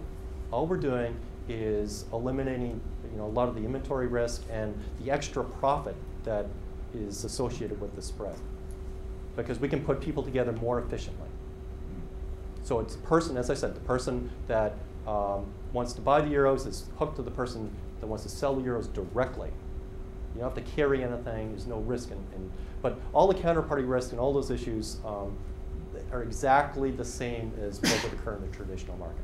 And then the, the other point was more, um, currently there are like bro- brokerage systems that work like Reuters and EBS, which Yes. exchange, you basically two banks sign up and Right. each bank allocates ca- uh, credit lines to certain banks within Right. that system. But is that going to operate more or less in the same way as that? No, because uh, what we're talking about, and we know what these other systems are. These other systems are not, um, they don't have the same structure, they don't have the reverse auction feature. There's other markets um, that have kind of reverse auction features. But um, in a lot of these cash markets, this is not replicated um, in terms of um, what we're offering. Remember, we've got this system that's running, that could be serving the clients of the bank. And then there's this other level where the clients are going into a particular system. And you've got all these atoms that are talking to each other. It's nothing like uh, what's in the market or any of the startups that we've seen with um, sort of business proposals. I guess I don't understand the concept of the reserve, reverse auction then, because if. Name your price, right? And I know That- what you're saying, and Reuters. basically a market maker Right. within the EBS system or Right. Yeah, and to a smaller extent. But, but what it isn't, it, it is like one screen basically. And what we've got is these multiple units uh, running the reverse auctions. It's, it's a much different model. Indeed, uh, it, it's, uh, it's so different that uh, Fenwick and West uh, uh, believes that uh, it's going to be very easy to secure the patent on the method. And they certainly know what, what these other systems are. The, the intellectual property, of course, is the main thing we have to protect. And uh, do people know Fenwick and West? They're like um, Silicon Valley um, top-notch people. Yes. I had a discussion in one of the previous classes last term about Napster, Gnutella, Acer, and so on. And we were, we were discussing whether those types of services have a sustainable business model or whether they're inherently loss leaders because the marginal cost of matching up two people who want to exchange something is zero, effectively. So not to say that Forexter couldn't survive in the short run by charging a lower spread than the established banks, but in the long run, if the marginal cost of matching up clients um, who want to exchange financial goods is effectively zero, then what's to stop competition from eroding away even that twenty-five dollars per million dollars down to nothing? Yeah, the 25, remember the 25 goes to the, the bank, okay, to facilitate the transaction, to take into account some of the things that uh, Sean was mentioning. Um, the, the $3 fee, let's say, um, is basically just a payment to Forexter, okay? And I'm not, I guess you can consider it a cost just like a spread is a cost, but it's, you know, um, way less than what currently exists today. Now, what you're saying is, is there a possibility in the future, because the marginal cost is effectively zero? And it is true. You know, we've got, we've got the code. You know, I'm going to show you code that is incredibly elegant um, and, and, and unique. So it's there. So is there a chance that somebody else is going to come in with a similar business idea? Yeah, that's always the case in doing a startup, and that's why we got the best lawyers in the world uh, for intellectual property. And they believe that we have an extremely strong case. Okay, so somebody could come in, but it's not going to be exactly what we've got. Will it be close? You know, it, it's hard to hard to tell. It seems that uh, in kind of going around that um, that people have not really progressed that far in, in the way that they're they're thinking about this. So we're going to be the first in, and it's highly scalable because our costs are very low. So we can start out very small, and we'll have some business immediately. We know that, and we're talking very uh, distinguished firms uh, about this that are very large that are willing to sign up um, potentially as uh, a strategic partner or actually use the, uh, the system. And what you're saying is in the longer term, somebody else is going to come in and force down the um, force down that three dollars to the three cents, maybe. You know, when we do our forecasting, that's that's a possibility. But within that span of today to 10 years, there's a lot of value that's going to be created. Okay, and the value that I'm talking about is not just value in our pockets, which is significant also, um, but think about what it means for the market. Like this is uh, what we call um, in, in, in economics something that improves uh, the, the welfare of the people actually doing the business. And it is true, as you said, that the, uh, the banks that have been charging the spread that will not be able to do that in the future, they're going to take a hit. There's no doubt. If they are involved with this project, maybe that's going to compensate. But, uh, but it just seems to me inevitable. And we talked about the 7% uh, fee for the IPO. You know, you know, that's, you know, I, said that's going to go away or be reduced. And I think that's obvious also. But that IPO's, you know, the investment bank plays a role in certain the quality. You know, go with a certain investment bank, that means something. In this particular business idea, it's, it's currency. There's no question of what we're actually dealing with. And all of the credit risk issues have been taken care of already. Yes? Yes, uh, but uh, one of the things that financial institutions has is a big, they're big regulated by governments and central banks, uh, specifically with, with big issues like money laundering and, and, and, all these things. How the central banks and the governments are going to play a role uh, in determining, uh, in defining a, a barrier of entries, or just anyone just go there and put it, you know, a web page to do these transactions. Oh, okay. Well, first, you know, there is like there are laws that exist, international laws, and you can protect, um, you know, intellectual property on in international basis. It is possible that somebody um, sets up a business in a country that hasn't signed on to various international conventions, but you know, who's really going to do business with that entity offshore if you're onshore? So if you're based in New York, let's say, you're going to be hard pressed to be doing business with somebody that you know violates um, international law or hasn't signed on. Uh, it usually just doesn't happen. Um, so, but that you know, it's obviously very important. You need to go and, and protect as much as you can your intellectual property, and that's certainly been our main effort right now. Uh, is the intellectual property issue. But can a, a name of a bank uh, can I uh, can I can a bank actually charge for the name of the bank because you're doing the transactions? Okay, remember how it works that the the bank would still uh, retain the transaction fee. Okay, and that's how it works today. And the transaction fee would take into account all of these other factors. So the actual infrastructure that's necessary um, is no different than what it is today.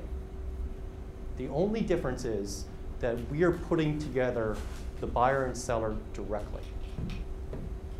Okay, and, and effectively the, the investment bank or the bank tries to do this also, right? They know, well, somebody's selling this and somebody else is buying. They're kind of like doing it on the fly. And other times they're taking some risk uh, in terms of their inventory. But we just have an efficient way to do that because the investment bank is dealing kind of with its client base once I put these pieces together, then the base becomes, you know, eventually clients that are not necessarily their clients, but somebody else's clients. It could be governments, whatever. Um, there, anybody that needs to do a transaction in currency could be using this, and it's all fed together, and the best possible prices are obtained. Yes. Why would you need more than one? A, commoditized process it, I think, a brilliant question. And, and I think that the people that are looking at this particular um, model are asking the same question. So why do I want to be involved? You, I'm really pushing you to think of the future here. You know, so here, you know, the foreign currency kind of trading um, that happens in banks and investment banks is a very profitable part of their business.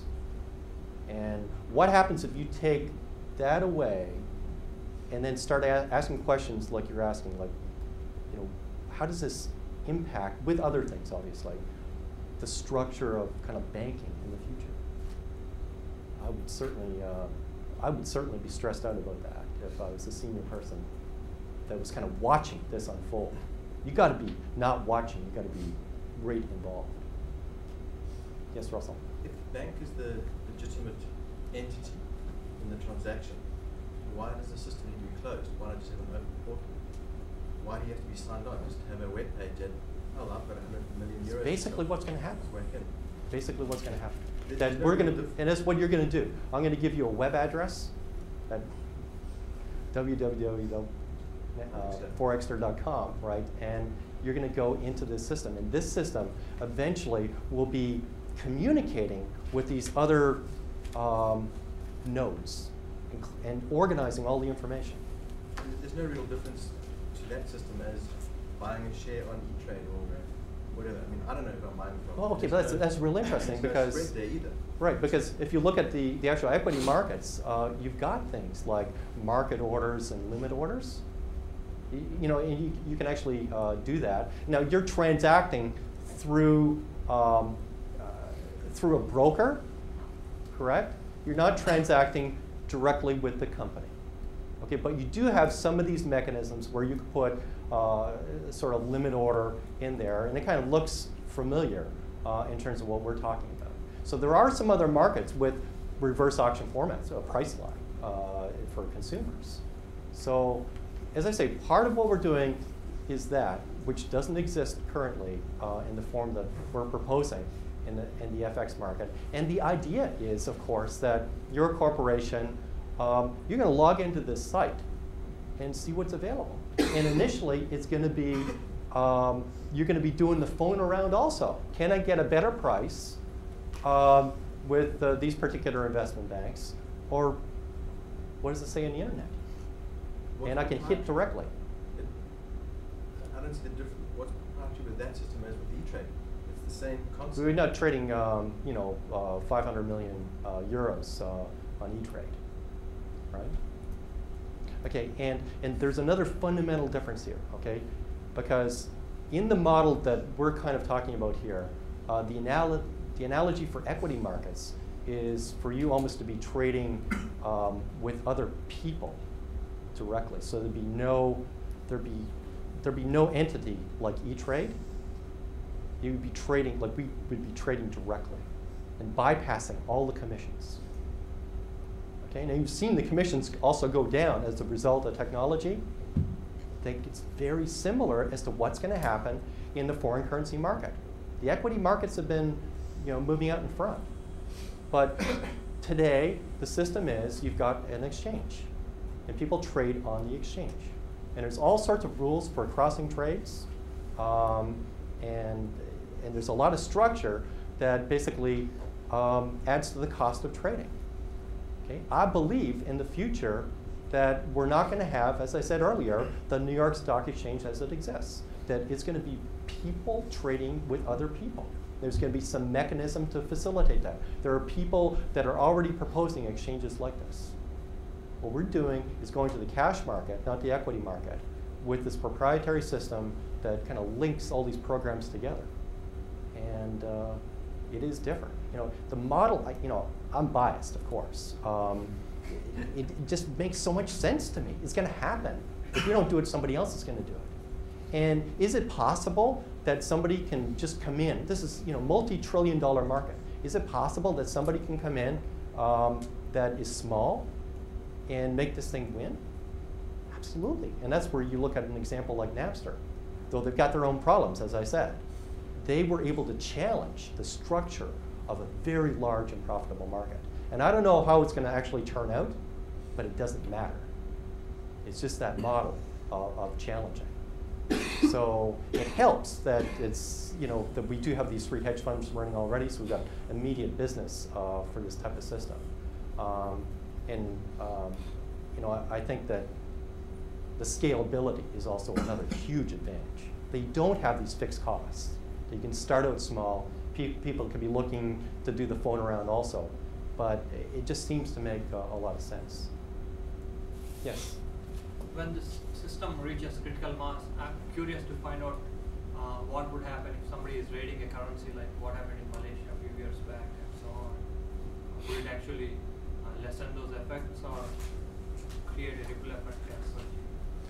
Yeah, uh, it's, uh, it's an interesting question. Um, the, you know, it's going to be, um, you would think it'd be a little more transparent. Um, but again, you know, if it's uh, a bank or investment bank with their name on, on the quote or the price, like taking the price, you actually don't know who's behind that. You don't know if it's George Soros uh, or, or whoever, right? So you don't have complete transparency and actually who's doing the trading. Uh, as to the volatility of the movements, I'm not sure it makes any difference. We're just more efficiently putting, um, putting people together. And there's a actual academic research on efficiency and volatility. And let me give you that pitch. It's very short. Uh, the, papers are not short, but the pitch is very short. That in an efficient market uh, where transactions costs are extremely low, prices adjust very quickly or immediately to information. In an inefficient market, it takes a while for prices to adjust, and indeed, they might overshoot and oscillate until they, until they actually um, get to where they should be. So you can think of an inefficient market as these kind of like slow movements. Maybe you overshoot a bit, and then you oscillate to get to the price. Whereas in the efficient market, you've got sharp moves. Given the information comes in, you move immediately. So, so it turns out that um, in the efficient market, it might look a little more volatile, and it's more volatile because the prices are, are better prices, getting better prices. And that's where um, this literature, where kind of like everybody's better off. The corporations are definitely better off in getting a better price for that currency. Okay, it's, it's, it's more accurately reflecting um, the information. Now, the downside, of course, is that if information comes in, and it's very important information, you're going to see big, sharp moves, uh, either down or up. It's not going to be slow. It's going to be fast. But um, you know, so so there could be some increased volatility. That's true. But overall, you're getting better prices. So in a way, you could uh, phrase the question um, there's a level of volatility that's the efficient level of volatility. It reflects the information. Okay, and that's basically what you're going to get. And it might be greater or smaller than what it is today. But as I say, there's no reason that uh, different organizations, uh, you know, uh, pension funds have investments uh, overseas. They do currency hedging. They know basically what they have to do. Um, uh, you know, government organizations, whatever, uh, with their their national accounts, they're, they're in these markets all the time. And it just seems like this is, at minimum, another way to do business. And see, see what happens. Yes? Does it have to be currencies? It seems like this could be applied to corporate bonds or treasuries or Yeah, basically anything in the, um, the cash market right now. And indeed, our, our business plan is uh, more general than currencies, but it's always best to focus on something that is really highly tangible. And you know, the currency is just like sitting out there with like a target sign on them. Right? Because everybody knows there's huge profitability. And everybody knows they've seen these other markets, like you've seen E-Trade and, and some other uh, electronic markets, what they can do. This is just for the taking. So yeah, uh, but we have to be focused, right? You can't do everything at once. And the patent that uh, that we've got the serial number for um, actually is more general than, than currencies. Definitely more general. yes? Isn't there a relationship component to the corporation and the bank in that maybe not on the foreign exchange, but if I give them my foreign exchange business, they'll represent me in a public offering or something? And isn't there some weighing that the corporation has to do there? Yeah, so there's other things, and you always have to consider these other things. So when you do business with the investment bank, the investment bank is looking at the transaction not just as a one-off transaction, that there's other things that are actually going on between the client and the investment bank that could add value uh, for both the corporation and the investment bank. And basically what we're doing is stripping out um, you know, their spread or greatly reducing it and leaving them with something. Obviously the transaction fee, which is you know, substantial. And would this, uh, would this affect um, the other stuff that they're doing. And, and I guess the way that I look at that is that this is going to happen anyways. So it's not like any particular corporation's fault.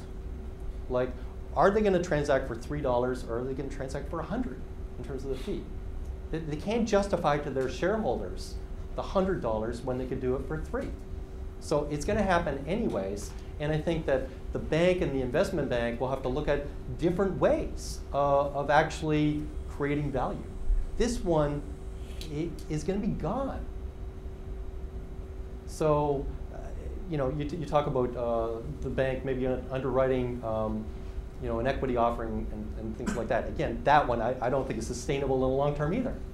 There's going to be a different way to do that. We offer the equity directly to the consumers. Forget the exchange. So can the investment bank or the bank actually get into that business?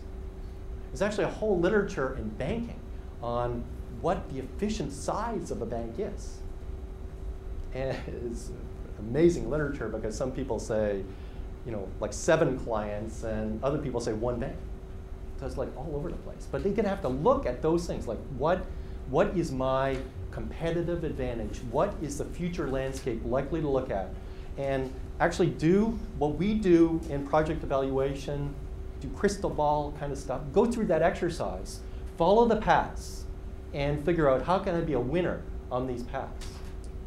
And, and, and, I don't want to get ahead of myself too much because this is exactly what we talk about when we do that, um, the case. Uh, it's called the Shadow Whistler uh, case, actually that's what I did when I met uh, Mundell.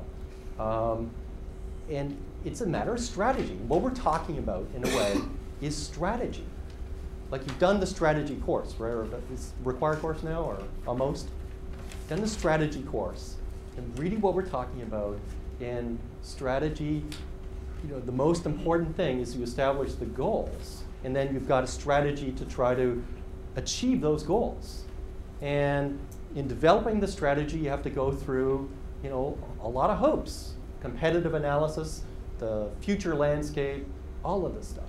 And we know, you know, you don't need, um, you know, an MBA from, from Duke University to realize that if there's a segment that's making a huge profit, that that's not sustainable in the face of uh, technological change. And it's not just the FX uh, uh, cash market, um, you can go through history and see what actually happens.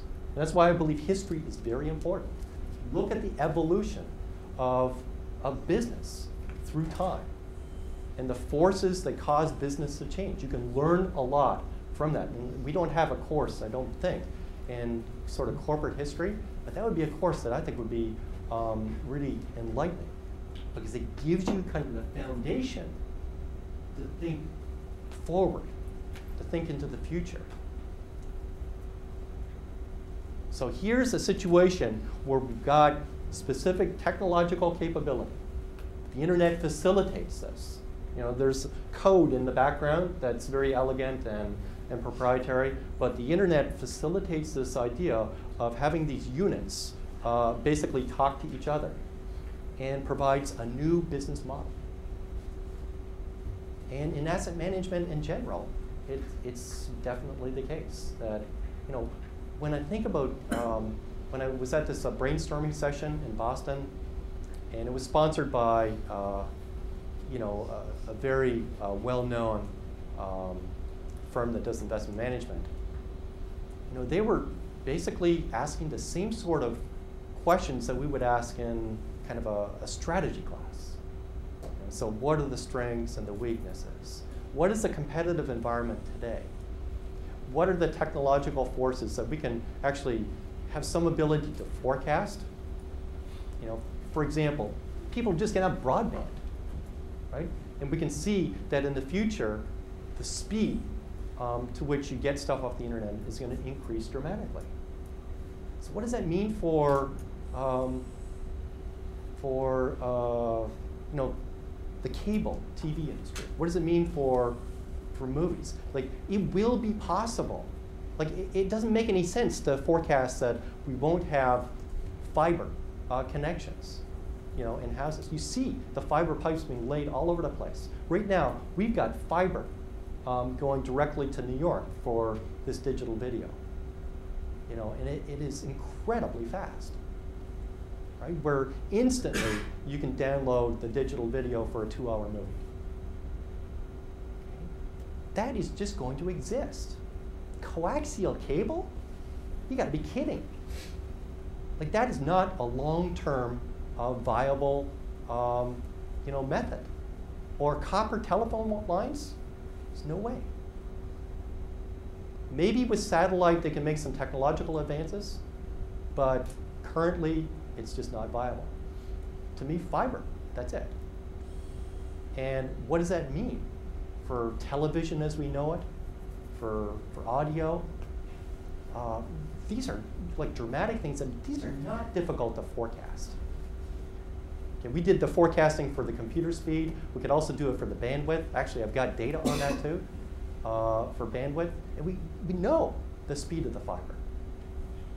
It's just a matter of laying it. So you see this stuff coming, and this is kind of like the exercise and strategy where you look at not just the competitive landscape today, but the landscape of the future. And then you figure out the moves that you can take to maximize value. Yes? How does this project match with what we talked about uh, one hour ago regarding the fact that we're moving toward a unit of account, which is yeah. no more currency? Right. Yeah, uh, it seems like a contradiction, doesn't it?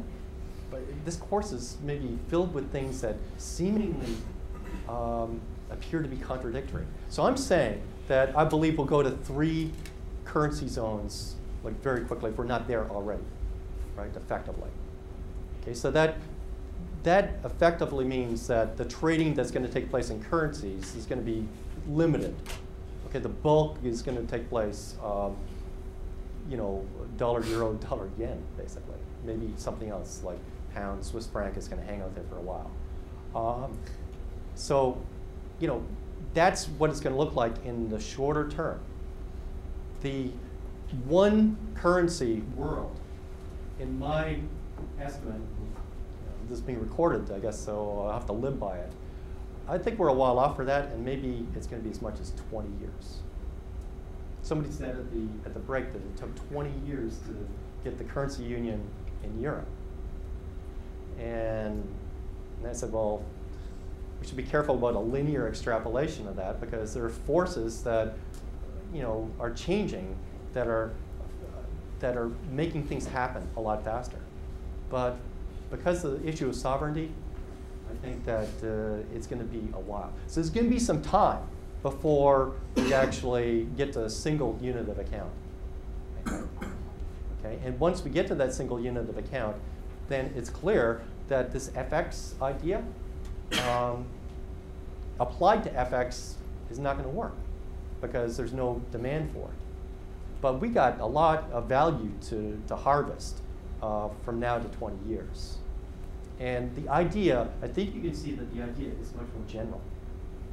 So, um, so I think that uh, you know, you're right to, to push the thinking that way, but there's a lot that can be uh, done in the shorter term.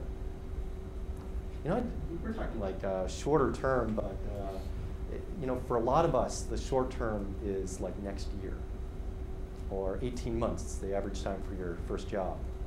Um, it, you know, it, it, and often you don't get the chance to do this. You know, and and it's actually it's great to do it here because it's going to be a while uh, before you're in a position, hopefully sooner rather than later, because we need to build the endowment at Fuqua, um, where you're sitting down and strategizing about the, the future landscape and, and the strategic moves that your firm is going to make to try to um, create value. What are we going to do? So in asset management, um, just like, and one thing that hopefully I've made transparent here, asset management is no different than any other industry here, right? Technology is impacting all these industries. And some are going to change faster than others. And actually, we can learn from other industries and how, they, how they've actually changed.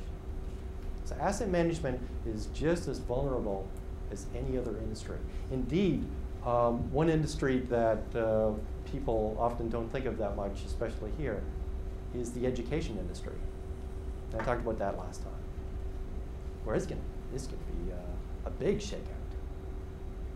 It doesn't make any sense the way it's structured right now. And once you're kind of entrenched here, And our, our structure is different for tenure and all that, so you've got a job for, for life, uh, so to speak. Um, you know, it's, it's hard to, to look forward. You know, why should I do that? I've got a job, security. But if, if the people at the university don't do this, they're going to be shaken out. So it's the same in any industry, and asset management is, is no different. Indeed, I think that um, it's the case that, uh, that we haven't seen as much in asset management. We've seen a lot of transactional change with the e-trades, Datek online and things like that. So we've seen sort of tra transactional business and we've seen the commissions for equity trading you know, diminish significantly. We've got all these markets out there. The bond market is in, is in the dark ages. You know, to get a price on a bond is extremely difficult. It's not that much trading other than kind of well-known issues. Yet the bond market is an incredibly deep market uh, in terms of the actual amount of debt out there in the economy. And something's going to happen there. And just the way that you service um, and, and create value. What you need to do, and we only have uh, a couple of minutes left, what you need to do is to sit down at the particular firm and figure out what is your core competency. And if you don't have one, either you get one quickly or you look to, to dump your own uh, position. You have, you know, and I think that that is something that sounds obvious to you. You, you know, in strategy 101, it's like, question one, what is the core competency? That's exactly the first question that needs to be asked when you're doing kind of asset management strategy. Second question is, is that competency at risk in the future? The third thing is, how can I sustain it in a consistent way? And what actions do I take today to actually do that? So to do what I'm suggesting, you know, we've only touched the surface of this, and we're going to kind of revisit this later in the course because I, I think it's so fundamental. I can show you, and I will show you, you're really sick of this, drawing the, the mean variance frontier and how to, you're doing it in assignment number two, how to get the weights, the best weights for your portfolio. But this stuff is kind of the, the mechanical implementation of a business and you need to take yourself a step back and think about the sustainability of that business in the longer term. And that's why I think strategy is so important. You know, asset management is not just about you know, rocket science and matrix algebra, differential equations, neural nets. That stuff is important, but it needs to be viewed in context. The big picture is the most important. And it's an ultra top-down sort of, sort of approach. What am I doing now? It's adding value, yes, but is that going to be sustainable in the future? Those are fundamental questions that we have to ask in asset management if indeed we want to create, create the value for the shareholders. Okay, so that's where we are. Next lecture, um, we'll change track a little bit and, uh, and talk about strategic asset allocation. I want you to think in particular about your view over the next five years. I know you're thinking about it right now in terms of assignment number two. But think about your view as to what you think the US market and the world market is going to actually perform over the next um, over the next three to five years. I'm going to be asking specifically about that. Yes.